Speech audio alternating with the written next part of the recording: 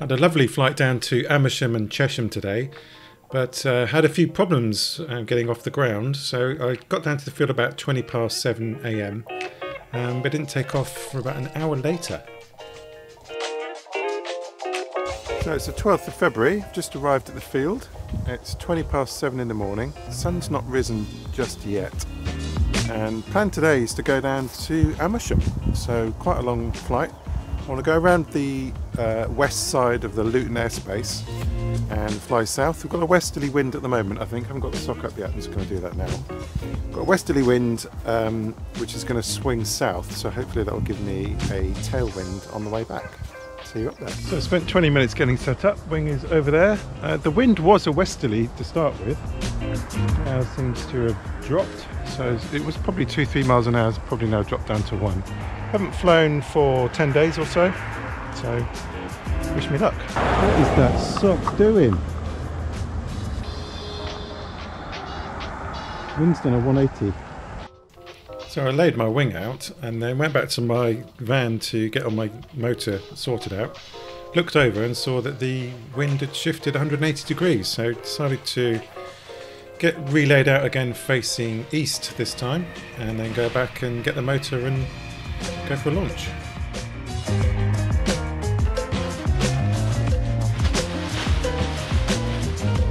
Going from the west, then from the east, now it wants to come from the north. So on top of all my wind issues, I struggled to get the motor started. So I had my power drill with me, so I thought I might as well just quickly take the prop off, warm the engine up, and then put it back on my back again. Um, of course, and by which time, when I'd got back over to the sock, the wind had changed direction yet again.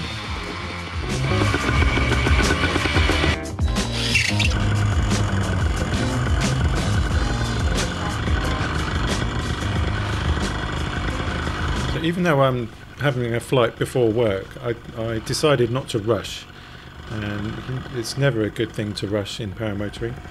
So even though I've laid my wing out three times with you know 40 odd kilos of um, paramotor on my back, I'm still not rushing, and then couldn't start my engine. Um, but finally, after 55 minutes, I uh, managed to get launched. So it's about quarter past eight now, and up in the air.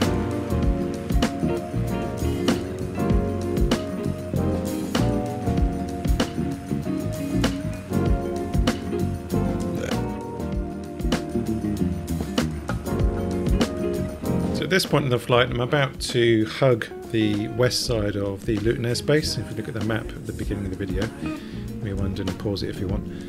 Um, so th this point all the way down here, I'm just hugging the west side past Tring and then down to Chesham and Amersham. And this here is the De Vere Latimer Estate, which is a hotel now, I believe. I recommend you Google it. It's got some quite interesting history. Uh, was used by intelligence in the Second World War. So I'm now flying over a tube station, something I've never done before. So this is the Metropolitan line, which um, terminates at Chesham, and this is the Chalfont and Latimer tube station. So it's pretty cool. And this here is the end of the tube line at Chesham. Um, haven't been to Chesham before actually, but looks uh, looks like a really nice place. Nice church there and some green fields around. So I'm kind of slowly heading back. I'm going to go around the west side of an airfield, um, but on the way I see this monument. I didn't know anything about it, so decided to fly over it. It's called Coombe Hill Monument. And one of my paramotor buddies said to me, You're actually only about 200 metres away from Chequers, which is the Prime Minister's uh, residence or country residence. So next time I'm over this way, I think I'll uh, fly over the uh, Prime Minister's house. So this is Aylesbury here and the famous Stoke Mandeville Children's Hospital. And on my way back to the airfield.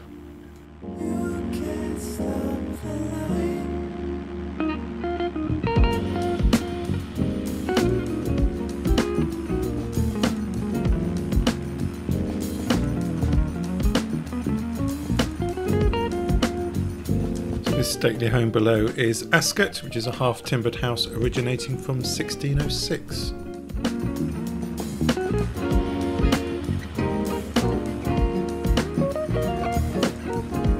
Almost back at the field now, I'm just going to fly over the Woburn Estate and Woburn Center Parcs. And I almost fall over on landing. Um, it was a bit of a fast landing. I expected a tailwind on the back, which didn't really happen. The winds just kind of died down to nil, so it was a nil wind landing. Um, but almost landed on my face.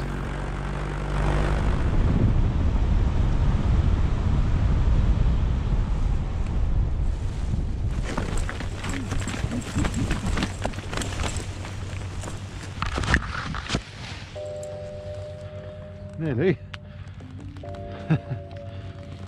Don't know why my fuel economy is so good.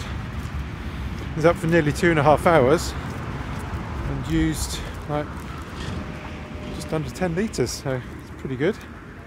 So if you enjoyed that, give me a thumbs up and thanks for watching.